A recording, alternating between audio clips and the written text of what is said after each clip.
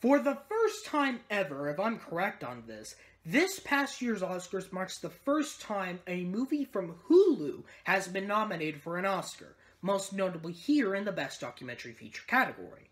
And that is another winning film that won at Sundance for the Documentary Jury Award for Breakthrough Filmmaking and the Independent Spirit Award nominee, Minding the Gap. So I have dealt with documentaries from Netflix. Let's see how Hulu can do that for me.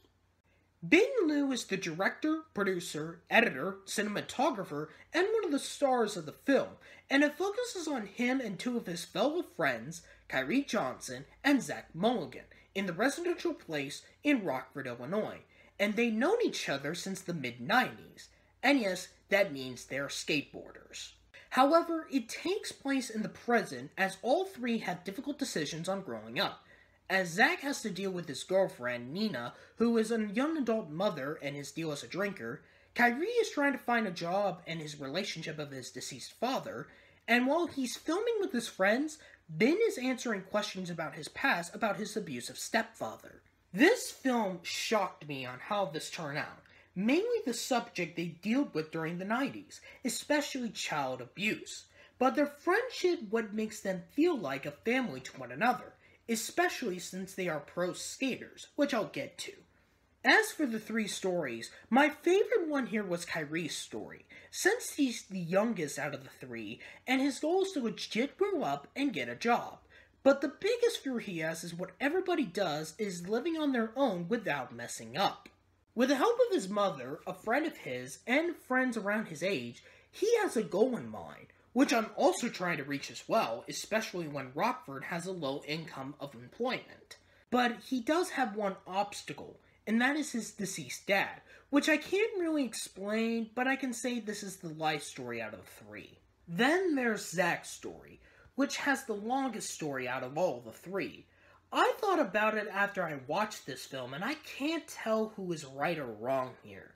Since him and his girlfriend, who is also a mother, don't really know they're treating each other as a young mother and father. They get in a lot of fights, he drinks a lot, he moved to Denver, Colorado for a little bit. We know where this is going. I've seen this in young adult parents in my life, and no offense to friends I know that are young mothers. As for Bing's story, it's alright. Since we don't get much of his story since he had to film the other two stories, but the main subject for him is looking at his past from his abusive stepfather. So much so, he interviewed his mother, which I gotta say how they filmed the interview was quite unexpected. When the documentary filmmaker interviews, they're usually behind the camera. But when he interviewed his mother, he not also got a shot of her, but also you get a shot of him behind the camera, which feels so real because he's talking to his mother. It would have been much better to see more, but it makes the movie a little bit longer, so I can understand why. Outside of Bing's story, his technical to the film was amazing, since he has been a filmmaker during the mid 90s at the skate parks, so his experience made the film watchable.